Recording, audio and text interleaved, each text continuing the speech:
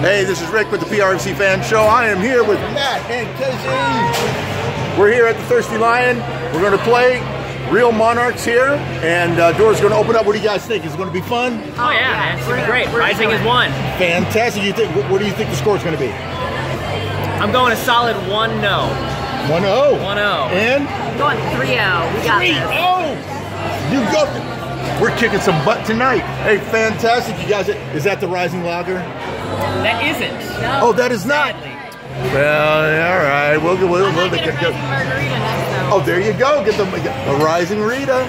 Fantastic. All right, you guys. We're going to meet you at the game. Rise up.